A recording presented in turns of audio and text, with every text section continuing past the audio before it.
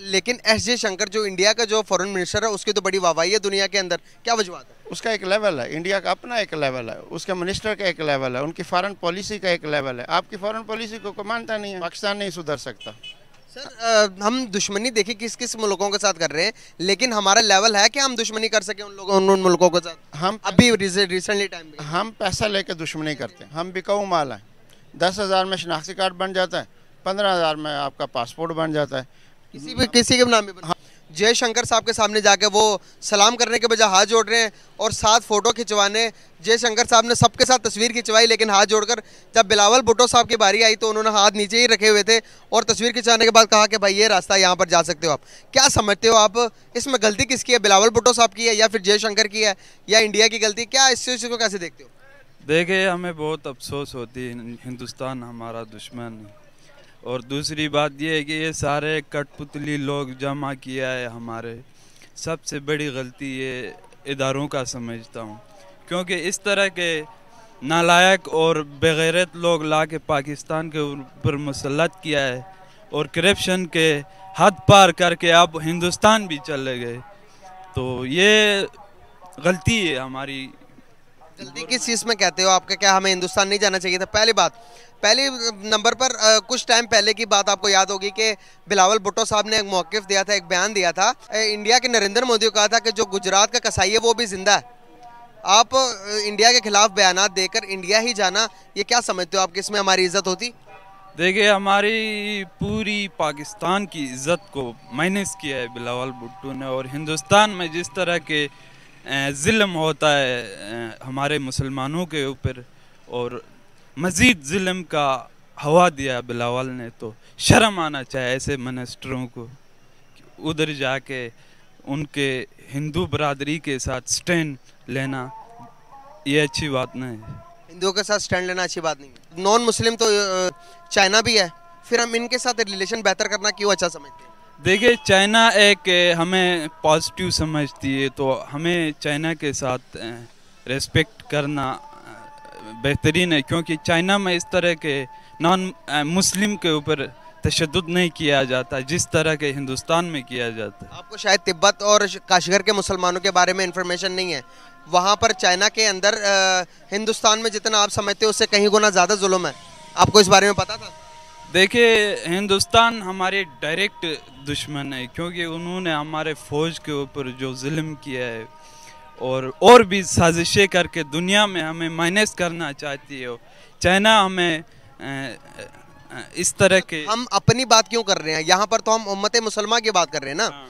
हमने वो देखना कि मुसलमान उम्मत मुसलमा के साथ क्या हो रहा है। अगर मैं बात करूँ चाइना की तो आपने बात की तो चाइना के अंदर भी मुसलमानों पर जुल्म हो रहा हम उसके बारे में बात क्यों नहीं करते? मैं ये पूछना चाह रहा हूँ। देखिए चाइना में इस तरह के नेगेटिव रोल अदा नहीं होता है जिस तरह के हिंदुस्तान मतलब आप इस बात को मानते ही नहीं कि चाइना जुल्म कर रहा है। मुसलमानों देखिए चाइना में भी शायद मुसलमानों के ऊपर जुल्म होता होगा लेकिन जि- जितना जुल्म हिंदुस्तान करता है इतना शायद तारीख में किसी ने किया ही नहीं होगा। आज भी जुल्म करते हैं थोड़ी कश्मीर। रिसर्च करने की ज़रूरत है। मैं ये नहीं कह रहा कि हिंदुस्तान में जुल्म नहीं हो रहा होगा लेकिन रिसर्च कीजिएगा कि जुल्म कहाँ पर है। चाइना के अंदर मस्जिदें गिराई जा रही हैं। ये कह करके ये मस्जिदों के जो गुंबद है ये ये चाइना के आर्किटेक्चर के खिलाफ है सारी मस्जिदें तोड़ दी हैं। चाइना कहता है कि या, या तो आप एथिस्ट हो या आप चाइनी हो। कोई मज़हब नहीं है चाइना कहता है। इस चीज़ को कैसे देखते हैं? देखिए चाइना में कोई मज़हब नहीं है लेकिन वो पाकिस्तान के साथ अच्छा ताल्लुकात रखना चाहती है और यहाँ सी पेक का सिस्टम भी उन्होंने ईजाद किया है और फंड्स भी देते हैं चाइना तो जहाँ से हमें फंड्स मिले हम मुसलमानों के दुख दर्द भूल जाएँ? नहीं नहीं I don't know this is not big important condition बहुत शुक्रिया आपका। लास्ट पर कोई मैसेज देना चाहेंगे? क्या? पब्लिक को? कोई मैसेज देना चाहेंगे पब्लिक को? पब्लिक को ये मैसेज देना चाहता हूँ स्टेन लो और इमरान खान की वो दुनिया में आपका आवाज़ बुलंद करेगा पूरी मुसलमानों को का स्टैंड लेगा और ये स्टैंड तारीख का अच्छा पॉइंट में मिलेगा इस स्टैंड से। बिल्कुल सही हो गया बहुत शुक्रिया आपका। थैंक यू वालेकुम अस्सलाम। सर कैसे हैं आप? अल्हम्दुलिल्लाह। नाम आपका? मजीद। क्या करते हैं? Bank manager. माशाल्लाह ज़बरदस्त हो गया। सर बेसिकली बात करने का पर्पज़ ये है कि बिलावल भुट्टो साहब के बारे में इंफॉर्मेशन है? हम्म। बिलावल भुट्टो साहब अभी एस के समिट के लिए इंडिया गए हुए थे। तो अभी इमरान खान साहब का बयान आया कि फॉरेन मिनिस्टर ने इंडिया जाकर हमारी बड़ी भी इंसल्ट करवा दी है। इस बारे में क्या कहना आपका? ना उन्होंने वेलकम किया, ना उन्होंने शेक हैंड किया, ना ही इसकी कोई इज़्ज़त है। ठीक है, फजूल टाइम में फजूल टाइम वेस्ट कर रहा है, पाकिस्तानी कौम का पैसा बर्बाद कर रहा है। जब से इसने ज्वाइन किया, तब से लेकर ये फारा नहीं रहता। ठीक है हाँ इसका कोई फ़ायदा नहीं है, ना इसकी फॉरेन मिनिस्ट्री का कोई ना कोई फॉरेन मिनिस्ट्री का हमें कोई फ़ायदा है ना कोई इसकी बात सुनता है ना कोई मानता है। सर अगर बात करूँ तो रिस्पेक्ट नहीं दी तो इसमें कसूर किसका है? रिस्पेक्ट करवाने वाला का या रिस्पेक्ट करने वाले का? पर्सनैलिटी भी इम्पैक्ट होता है। पर्सनैलिटी अगर अच्छे लेवल के होते तो हर बंदा आपकी बात सुनता है।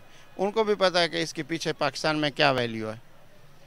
सही हो गया। मतलब कि आपको भी पता है कि उसकी कोई वैल्यू नहीं है। पाकिस्तान में उसकी क्या वैल्यू है? बिलो रानी है ठीक है वो कहीं आता है जाता है उससे कोई फ़र्क नहीं पड़ता उससे। सर लेकिन एस जे शंकर जो इंडिया का जो फॉरेन मिनिस्टर है उसकी तो बड़ी वाहवाही है दुनिया के अंदर। क्या वजूहत है? उसका एक लेवल है इंडिया का अपना एक लेवल है उसके मिनिस्टर का एक लेवल है उनकी फॉरन पॉलिसी का एक लेवल है। आपकी फॉरन पॉलिसी को कोई मानता नहीं है। आपके फॉरन मिनिस्टर को कोई नहीं मानता। सर क्या वजूहत कोई सुनता नहीं है ना उसका अपना कोई वजूद नहीं है कोई लेवल नहीं है। सर हम ऐसे ही रहेंगे? हाँ ऐसा ही रहेंगे। जब कब तक? हमारे पीछे जब तक एस्टेब्लिशमेंट है तब तक हम ऐसा ही रहेगा। पाकिस्तान नहीं सुधर सकता। सर अ, हम दुश्मनी देखिए किस किस मुल्कों के साथ कर रहे हैं लेकिन हमारा लेवल है कि हम दुश्मनी कर सके उन लोगों उन, उन मुल्कों के साथ। हम अभी रिसेंटली टाइम में। हम पैसा लेके दुश्मनी करते हैं। हम डॉलर खाते हैं और दुश्मन बनाते हैं। ठीक है? डॉलर ऊपर वाले खाते हैं दुश्मनी अवाम की चलती है। महँगाई अवाम के सर पे होती है। इसलिए हम कहते हैं कि आईएमएफ को हमें कर्जा नहीं देना चाहिए। सर, अभी साढ़े सात लाख से भी ज़्यादा पाकिस्तानी, पाकिस्तान छोड़कर बाहर जा रहे हैं। लेकिन किसी भी पड़ोसी पड़ोसी मुल्क की आप हिस्ट्री निकाल लें, किसी भी मुल्क की तारीख में इतने ज़्यादा लोग मुल्क छोड़कर नहीं गए। क्या वजूहत है? महँगाई, वजूहत, सबसे बड़ी महँगाई, उसके बाद अनसर्टेनिटी उसके बाद एजुकेशन का ना होना, उसके बाद फ्यूचर बच्चों का मुस्तकबिल कुछ नहीं है। तो इस वजह से यहाँ पे एक जानवरों वाली लाइफ है, इंसानों वाली लाइफ नहीं। तो यही वजह है। सर, हम दो तीन मुल्कों की नेशनलिटी देते हैं, लेकिन अगर पड़ोसी मुल्क किसी को भी देखेंगे, आप चाइना को ही देखेंगे, एक मुल्क की नेशनलिटी रख सकते हैं या चाइना की रख सकते हैं या अदर मुल्क की। आप इंडिया की बात कर लें, वो भी एक मुल्क की नेशनलिटी देता। सबसे ज़्यादा मुश्किल इंडिया की नेशनलिटी लेना है। तो क्या हम हम क्यों प्रेफर करते हैं कि अपने मुल्क की भी और दूसरे मुल्कों की भी नेशनलिटी लेते हैं? हम बिकाऊ माल हैं दस हज़ार में शनाख्ती कार्ड बन जाता है, पंद्रह हज़ार में आपका पासपोर्ट बन जाता है। किसी भी किसी के नाम पे हाँ किसी भी नाम का बना जितने बांग्लादेशी हैं, सारे के सारे पाकिस्तानी नेशनल होल्डर हैं। जितने अफगानी हैं, बाहर जितना भी अफगानी बाहर ट्रैवल करता है, उनके पास पासपोर्ट पाकिस्तानी है। जब वो बाहर इस तरह की चीज़ें बाहर करते हैं, अवाम में, यानी उसका जो अगेंस्ट चीज़ें आती हैं, वो पाकिस्तान के होते हैं कि पाकिस्तानी किलर है, पाकिस्तानी दहशत गर्द है, पाकिस्तानी वो है। हालाँकि लोग करते हैं, पाकिस्तानी अवाम शायद इस तरह की नहीं सर हमें क्या बदनाम किया जा रहा है? बदनाम किया जा रहा है। हमारे इदारे ठीक नहीं है हमारे इदारे कोई काम नहीं कर रहे। चंद ट, चंद टकों के वो पर्सनल फ़ायदा देखते हैं कि मेरे पास चंद टके आ रहे हैं। ये नहीं देखते कि कौम का क्या बनेगा। हम पर्सनली इंडिविजुअली तौर पर ठीक है? नहीं हम हर बंदा करप्ट है। हर बंदा करप्ट है ज़ीरो से लेकर इवन पीएन से लेकर प्राइम मिनिस्टर तक हर बंदा करप्ट है। हमें ठीक होने में कितना टाइम लगेगा? कोई नहीं हमारा एजुकेशन कैरियर कोई नहीं है हमारी ग्रोथ कोई नहीं है हमारी सिंपल हमारी थिंकिंग नहीं है। तो हम इसी तरह ही रहेंगे। सर आप बैंकर हैं आपको पता होगा कि पाकिस्तान के इस टाइम फॉरेन रिज़र्व के क्या सूरत हाल है। क्या हम दिवालिया हो सकते हैं या नहीं हो तो सकते? हम हो चुके हैं। दिवालिया हम हो चुके हैं। पिछले सात आठ माह से हम दिवालिया लाइफ गुजार हैं। बस वो इसाक डार साहब ने डिजिट आगे पीछे कर दिए। हैं उसकी वजह से। मतलब स्टेबल कर दिए हैं। नहीं नहीं झूठ झूठ। हाँ आर्टिफिशियली तौर पर तभी आईएमएफ आपको पैसा नहीं दे रहा। सर कब तक हम आईएमएफ से मांगते रहेंगे? सर मुल्क तरक्की किया था मैंने आईएमएफ से हमें पैसा लेने का कोई अवाम को फ़ायदा नहीं है। उससे ऊपर वाले लोग खा जाते हैं। अवाम तक कुछ नहीं आता। पाकिस्तान की ज़रिया आमद क्या है? हम किस चीज़ से पैसे कमाते हैं? और अगर दूसरे मुल्कों की बात करेंगे तो कोई कोई ज़रात बेच रहा कोई गाड़ी बेच रहा पाकिस्तान क्या बेच के अभी तक चल रहा है? पाकिस्तान पाकिस्तानी बस सिर्फ़ डॉलर बेचते हैं हम लोग डॉलर लेते हैं। उसके अलावा किसी न किसी मुल्क में जाके कोई ना कोई जंग शंग छेड़े थे। जब भी इनको डॉलर चाहिए होता है पठान पठानों का कत्लेआम करते हैं। सुबह सरहद के पी के पंजाब सब के इसी तरह दहशत गर्दी में। सर हम तो कहते हैं अफ़गानिस्तान का हर मौके पर हम साथ देते हैं लेकिन अफगानी हमारे पीछे हमारे खिलाफ क्यों है आज के टाइम में? उसकी वजह यह कि आपने उनकी नस्लें मुका दी हैं। आपने पैसे लेके उनकी नस्लों के ऊपर बम्बारियाँ की हैं ड्रोन अटैक्स किए हैं। यही रीज़न है। और लेकिन मानते नहीं है ना? नहीं हम मानते हैं। हमने पठानों के साथ बहुत जुल्म किया है। सर वो जो कर रहे हैं वो इस टाइम सही है या नहीं? देखें आपने खुद पैसे लेके तालिबान बनाए। आज वो आपके सर पे मुसलत हैं और हमेशा रहेंगे। सर अच्छे तालिबान भी होते हैं क्या? बुरे तालिबान भी होते हैं? नहीं अच्छे बुरे तालिबान वो हैं जिनके बच्चे आपने मार दिए हैं। सर हमने तो एक तालिबान बनाए थे और अच्छे तालिबान का नाम दिया बुरे तालिबान का भी नाम दिया था हमने। कोई अच्छे नहीं है कोई बुरे नहीं तालिबान तालिबानों हैं ठीक है और वो पाकिस्तान को हमेशा नुकसान पहुँचाएँ क्योंकि आपने उनके बच्चे मार के पैसे लिए हुए हैं। सही हो गया सर। बहुत बहुत स्ट्रेट फॉरवर्ड बातें कर रहे हैं। बहुत शुक्रिया सर आपका। Thank you so much for your time thank you very nice कैसे हैं सर अल्लाह का शुक्र नाम आपका? फरहान रशीद। क्या करते हैं? मैं इंजीनियर हूँ। सर बिलावल भुट्टो साहब इंडिया चले गए और वहाँ पर गए और बड़ी बिस्ती हुई हमारी ऐसा सुनने को मिल रहा है। क्या समझते हैं आपके उन्हें इंडिया जाना चाहिए था या नहीं जाना चाहिए था? किसी अच्छे बंदे को जाना चाहिए था जो पाकिस्तान के रेप्यूट का ख्याल रखता और पाकिस्तान का जो ऑनर है उसका ख्याल रखता और किसी रिप्यूटेबल पर्सन को जाना चाहिए था वहाँ पे जो रिप्रेजेंट करता है पाकिस्तान को। मतलब क्या आपको लगता है कि बिलावल भुट्टो साहब आपके कहने के मुताबिक ऐसा ज़ाहिर हो रहा है कि बिलावल भुट्टो साहब जो सीट पे है इस सीट के एलिजिबल नहीं है वो? बिल्कुल कैपेबल नहीं है वो इसके। कैपेबल नहीं है? नहीं है। कौन है इस सीट का कैपेबल बहुत से अच्छे लोग गुजरे हैं। उनमें से वज़ीर जो है जो है वजारत खारजा इनके पास है।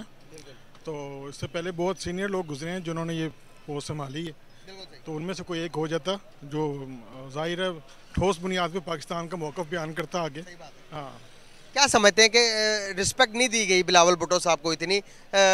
बकौले इमरान खान साहब जितनी को उनको देनी चाहिए थी। क्या बिलावल भुटो साहब ने ये रिस्पेक्ट लेना बिलावल भुटो की अपनी गलत खामी है या फिर इंडिया की खामी है कि उन्होंने रिस्पेक्ट नहीं दी बिलावल भुटो साहब को? इस पर आपका क्या मौका है? देखें वो ज़ाहिर है हमारे दुश्मन है। तो कोई ऐसा बंदा जाता है दुबंग किस्म का। जो अपनी इज़्ज़त वो लोग तो नहीं करेंगे। अपनी इज़्ज़त करवानी पड़ती है फिर ऐसे लोगों से। सर जब हमारी तरफ़ से इधर पहले बिलावल भुट्टो साहब नफरत अंगेज स्पीचेस करते हैं कि butcher of Gujarat is a alive Gujarat का जो कसाई है वो ज़िंदा पहले उसको आप मारो। जब इस तरह का बयान देकर एक मुल्क के प्राइम मिनिस्टर के बारे में इतना बुरा भला कहकर आप उसी मुल्क में जाते हो तो आप रिस्पेक्ट आपको मतलब कि जो एक्सेप्ट कर रहे हो आप रिस्पेक्ट एक्सेप्ट कर रहे हो उनसे क्या वो आपको मिलेगी? देखिए ये इनके सियासतदान हैं दोगलापन होता है इनके अंदर। ठीक है? हाँ कई चेहरे होते हैं इनके तो अपने मुफाद के लिए कुछ भी कर सकते हैं। सही हो गया। हाँ। तो मतलब कि शॉर्ट एंड शॉर्टकट में क्या कहना चाह रहे हैं? गलती किसकी ज़्यादा? गलती हमारे बंदे की है। हमारे बंदे की है। इमरान खान साहब का भी बयान आया। इमरान खान साहब को कहते हैं कि भाई तुम्हें तुम लोगों को तो रिस्पेक्ट ही नहीं करवानी आती। वो आप आप चले गए इंडिया आपको तो जाना नहीं चाहिए था। बिल्कुल ऐसी है। किसी एलिजिबल पर्सन को जाना चाहिए था। जैसे मैंने पहले कहा किसी दुबक बंदे को जाना चाहिए था जो उनको संभाल लेता। अच्छा। लास्ट पे कोई मैसेज देना चाहेंगे? बस यही है कि पाकिस्तान के हालात आजकल कुछ बेहतर नहीं है माशी हालात भी और समाजी लेवल पे लोग बहुत परेशान हैं। तो कहना चाहिए कि गवर्नमेंट स्टेब, स्टेबल होगी तो फिर कुछ बेहतरी आएगी पाकिस्तान में आपको नहीं लगता बिलावल भुट्टो का कहीं ना कहीं पॉजिटिविटी क्रिएट करने का उधर जाने जाने का फैसला कहीं ना कहीं पॉजिटिविटी क्रिएट करना तो नहीं था? देखिए वो इतना मैच्योर नहीं है ठीक है? बहुत से सीनियर पर्सन ऐसे हैं जो जिनको बाईपास करके इसको आगे लाया गया ठीक है जिसको आप कह रहे हैं कि मोरिस सियासत है। कि वालिद के बाद बेटा आगे सियासत में आ गया। तो ऐसा नहीं होना चाहिए बहुत से कैपेबल लोग हैं इनकी पार्टी में जिनको आगे आना चाहिए था इसकी जगह पे। सही हो गया। तो क्या लगता है कि आपको हमारे रिलेशन बेटर होने चाहिए कि नहीं हमारे पड़ोसियों के साथ? अगर मैं बात करूँ ईरान के साथ हमारे रिलेशन बेहतर है? ईरान के साथ रिलेशन अच्छे नहीं हैं हमारे। क्या हमारे रिलेशन बांग्लादेश के साथ बेहतर है? जी बिल्कुल नहीं है। क्या हमारे रिलेशन इंडिया के साथ बेहतर है? बहुत बुरे हैं। सर हम सबके साथ खराब करके हम करना क्या चाह रहे हैं? देखिए उनके साथ हमारी बन ही नहीं सकती जिस तरह के वो लोग हैं। चले इंडिया के साथ नहीं बन सकती। ईरान के साथ क्यों नहीं बन ईरान अपनी जगह शरारतें करता है। उसने कभी पाकिस्तान का मौकफ सुना ही नहीं है सही तरह से। ठीक है हाँ। वो अ, कभी उसने साइड नहीं ली पाकिस्तान की। सर इंडिया के साथ क्यों नहीं बेहतर हो सकते हमारे अलावा इंडिया क्योंकि आपको पता है अजली दुश्मन है हमारा। दुश्मनी किस बात?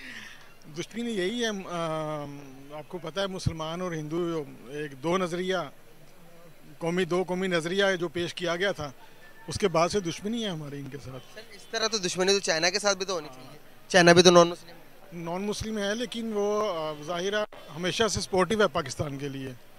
सिर्फ़ पाकिस्तान के लिए या पूरे मुसलमानों के लिए सपोर्टिव है? वो असल में अपना मुफाद सोचता है। वो एक कह लें कि अमन पसंद मुल्क है। चाइना। चाइना अमन पसंद चाइना के अंदर काशगर के अंदर मुसलमानों पर क्या हो रहा है? तिब्बत के अंदर मुसलमानों पर क्या हो रहा है? इस बारे में हम बात क्यों नहीं करते? करनी चाहिए इंटरनेशनल लेवल पे। करनी चाहिए। करनी चाहिए। सर जो चाइना कर रहा है इसको सही कर रहा है वो? देखिए मुसलमान जहाँ कहीं भी है दुनिया में वो एक कौम है। और उनके बारे में बात करनी चाहिए उनको सपोर्ट करना चाहिए। और इंटरनेशनल लेवल पे इंटरनेशनल प्लेटफॉर्म पे उनके लिए उनके हक में आवाज़ बुलंद करनी चाहिए। मुसलमानों के लिए? मुसलमानों के लिए। क्या हम कर रहे हैं? नहीं कर रहे। सर, एक और सवाल, छोटा सा सवाल आपसे पूछना चाहूँगा। सूडान के अंदर, मुसलमान अभी सूडान के अंदर जो मार्शल लॉ लग चुका है मार्शल लॉ लग चुका है, तकरीबन साढ़े पाँच सौ से ज़्यादा मुसलमान मुसलमान को मारकर मतलब कि शहीद कर दिया जा बहा कर दिए गए। हम उसके बारे में बात नहीं कर रहे कि साढ़े पाँच सौ मुसलमान से ज़्यादा वहाँ पर शहीद हो गए, मर गए। दूसरे नंबर पर अगर कहीं भी कश्मीर के अंदर कोई नॉन मुस्लिम या चाइना के अंदर कोई नॉन मुस्लिम